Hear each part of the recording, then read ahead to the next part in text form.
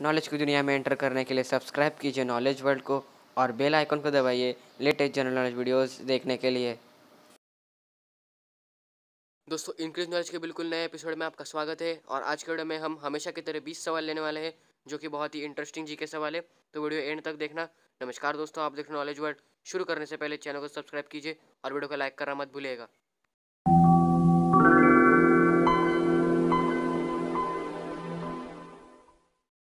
दोस्तों, पहला सवाल है who is the first president of USA यानी यूनाइटेड स्टेट्स ऑफ़ अमेरिका के पहले राष्ट्रपति कौन है? तो option A Benjamin Franklin B George Washington C Abraham Lincoln D Thomas Jefferson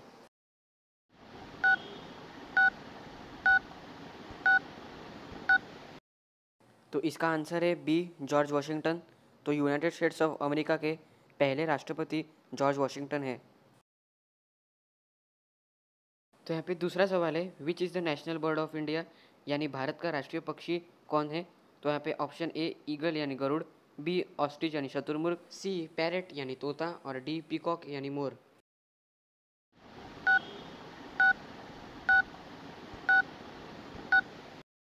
तो इसका जवाब है डी पीकॉक यानी मोर, और आपके लिए मैंने पीकॉक की इमेज यहाँ पे दिखाई है, और ये हर भारतीयों को आना ही चाहिए कि भारत का राष्ट्रीय पक्षी मोर है। दोस्तों, यहाँ पे अगला सवाल है what is the full form of CBI यानी सीबीआई का फुल फॉर्म क्या होता है? तो यहाँ पे option A central bureau of investigation B criminal bureau of India C central branch of India D crime branch of investigation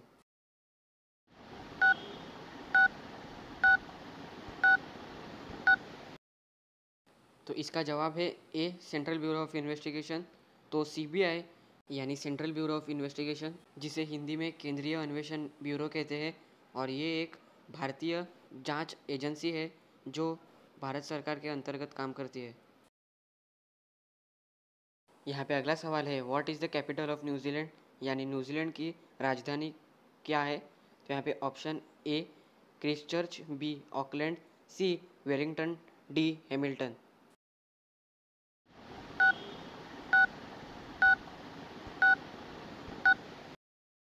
तो इसका आंसर है सी वेलिंगटन तो न्यूजीलैंड की कैपिटल वेलिंगटन है. दोस्तों, अगला सवाल है when is national sports day celebrated in India यानी राष्ट्रीय खेल दिवस या राष्ट्रीय खेल दिन भारत में कब मनाया जाता है? तो option A twenty ninth August B fifteen September C fifteen August D twenty nine September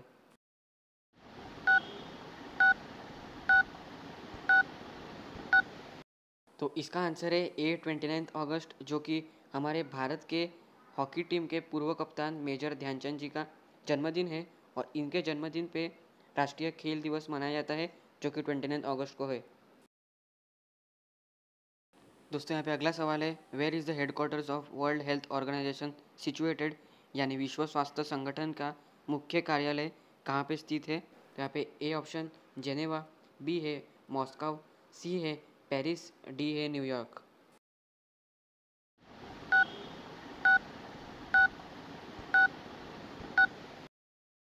तो दोस्तों, इसका आंसर है ए, जेनेवा, जो कि स्विट्ज़रलैंड कंट्री में है। तो वर्ल्ड हेल्थ ऑर्गेनाइजेशन, यानी विश्व स्वास्थ्य संगठन का मुख्य कार्यालय जेनेवा में स्थित है। यहाँ पे अगला सवाल है, identify the flag, which country's flag, यानी ये जो आप सामने झंडा देख रहे हैं, वो कौन से कंट्री का है? तो यहाँ पे आपको option A Indonesia B Switzerland C Malaysia D Bhutan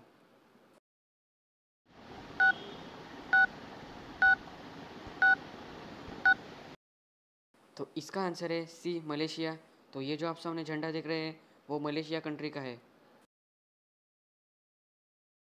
यहाँ पे दोस्तों अगला सवाल है which great freedom fighter give the slogan इनकलाब जिंदाबाद? यानी इनकलाब जिंदाबाद? ये नारा किस महान स्वतंत्र सेनानी ने दिया है? तो आप option A Surya Sen B Mahatma Gandhi C Bhagat Singh D Lokmanya Tilak.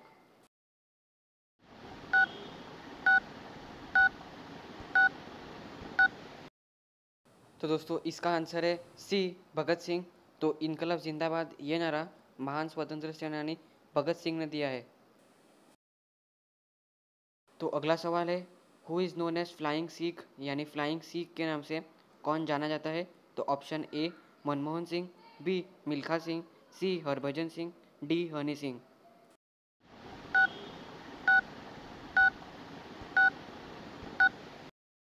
तो इसका आंसर है बी मिल्खा सिंह। तो मिल्खा सिंह इंडिया के one of the best runner रह चुके हैं और ये एक्चुअली पंजाबी है, इसीलिए उनको फ्लाइंग सिख के नाम से सम्मानित किया गया है। तो अगला दसवां सवाल है। Kuchipudi is a dance form associated to which state of India यानी कुचिपुड़ी, ये नृत्य भारत के किस राज्य से जुड़ा हुआ नृत्य है? तो A option Assam, B Tamil Nadu, C Kerala, D Andhra Pradesh.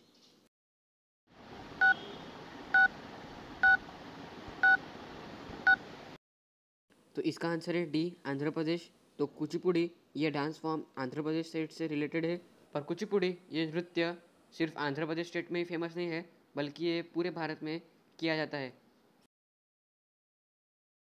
दोस्तों, अगला ग्यारहवा सवाल है in which category did Mother Teresa had won the Nobel prize यानी मदर टेरेसा ने कौन से क्षेत्र में नोबल प्राइज जीता है? तो ए ऑप्शन इकोनॉमिक्स यानी अर्थशास्त्र बी पीस यानी शांति सी लिटरेचर यानी साहित्य डी केमिस्ट्री यानी रसायन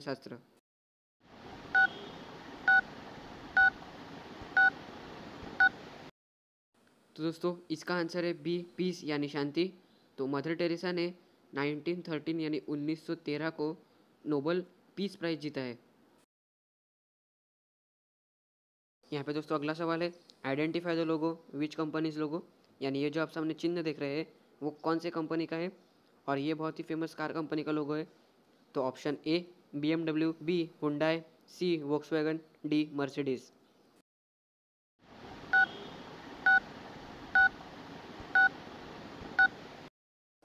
तो इसका आंसर है सी वोक्स तो ये जो आप सामने लोगो देख रहे हैं, ये बहुत ही फ़ेमस कार कंपनी या कार ब्रांड वोक्स का लोगो है.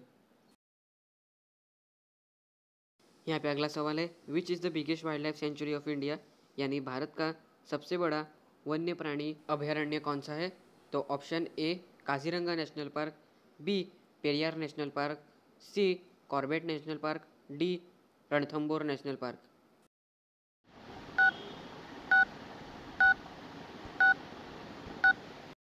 तो इसका आंसर है ए काजीरंगा नेशनल पार्क जो कि आसाम में है, और ये भारत का सबसे बड़ा वन्य प्राणी अभयारण्य है, जिसका क्षेत्रफल दो स्क्वायर किलोमीटर है। और दोस्तों, ये अभयारण्य वन हॉर्न राइनोसोरस यानी एक सिंगी गेंडे के लिए फ़ेमस माना जाता है। तो यहाँ पे अगला सवाल है who has invented the printing press यानी प्रिंटिंग प्रेस का आविष्कार या प्रिंटिंग प्रेस की खोज किसने की थी? तो option A, Joseph Swan, B, Galileo Galilei, C, Stephen Hawkins और डी, जोहेंस गुटनबर्ग।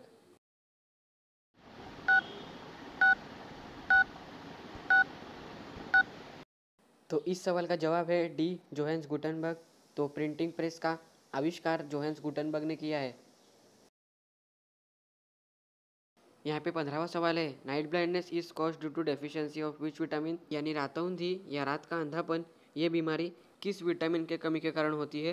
तो option A, vitamin D, B option vitamin C C option vitamin B, D option vitamin A.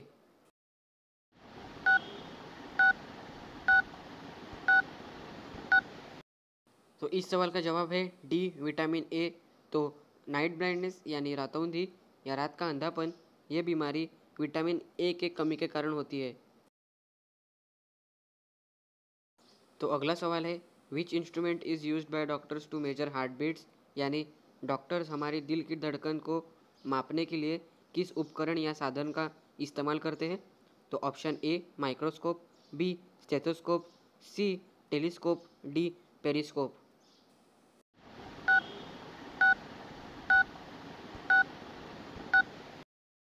तो इसका आंसर है बी स्टेथोस्कोप और मैंने आपको उसका picture भी दिखाया है।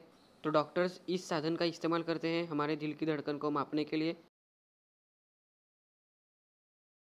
यहाँ पे दोस्तों अगला सवाल है which unit is use for measuring power यानी बिजली को मापने के लिए किस इकाई या किस मात्रक का इस्तेमाल किया जाता है?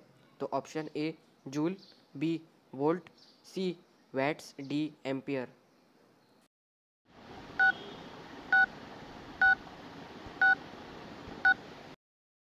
तो इसका आंसर है सी वैट्स तो पावर यानी बिजली को वैट्स में काउंट किया जाता है और ये उसका यूनिट है। तो दोस्तों, अगला सवाल है Duleep trophy is associated to which sport यानी दुलीप ट्रॉफी ये किस खेल से जुड़ी हुई ट्रॉफी है? यानी आप ऐसा भी कह सकते हैं दुलीप ट्रॉफी किस खेल को जीतने के बाद दी जाती है? तो option A cricket B football C volleyball D hockey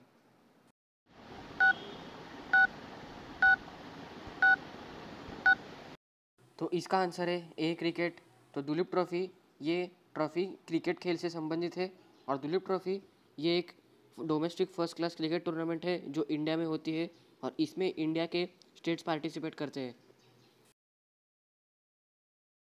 तो यहाँ पे उन्नीसवा सवाल है who is the writer of the famous novel Hamlet यानी मशहूर पुस्तिका या उपन्यास हेमलेट के लेखक कौन है?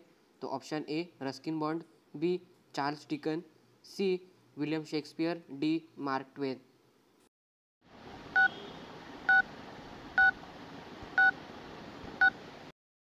तो इसका आंसर है सी विलियम शेक्सपियर तो मशहूर पुस्तिका या उपन्यास हेमलेट के लेखक विलियम शेक्सपियर है, जो कि बहुत शानदार लेखक है। तो यहाँ पे बीसवा आखिरी सवाल है who founded the Mughal empire in India यानी मुगल साम्राज्य की स्थापना भारत में किसने की थी? तो option A Akbar B Babur, C. Shah Jahan, D. Aurangzeb.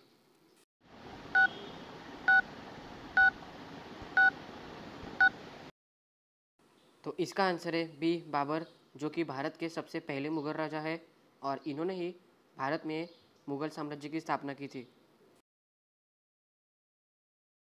दोस्तों इनक्रीज नॉलेज के आज के एपिसोड में बस इतना ही। आपने फुल वीडियो देखा, एंड तक इसके लिए आपको बहुत बहुत धन्यवाद। जाने से पहले चैनल को सब्सक्राइब कीजिए और बेल आइकन को दबाना मत भूलेगा और अगर आपने वीडियो को लाइक या शेयर नहीं किया है तो लाइक भी कीजिए, शेयर भी कीजिए। और अगर आपके कोई सुझाव हो तो नीचे कमेंट करना मत भूलेगा और ज्ञान को फैलाते रहिए, क्योंकि जनरल नॉलेज बहुत ज़रूरी है।